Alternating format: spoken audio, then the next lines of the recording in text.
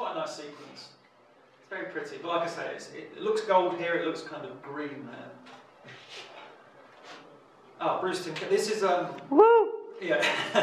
this is Bruce Timm's character design. It's only for one episode. It, it sounds like I've got. Ooh. Yeah, no, it's for um, it's for a She episode as well. Um, Jungle Fever, which had these characters in. So this is this is Bruce Timm's original. Well, these are the characters that we used in the episode, but for some reason he was asked to do like numerous different designs for Korg, Jamila, and Tondi, as you were. Um, so there you go. There's like a different designs, obviously more, uh, I'd say, African design going on there. It's almost like Conan the Barbarian.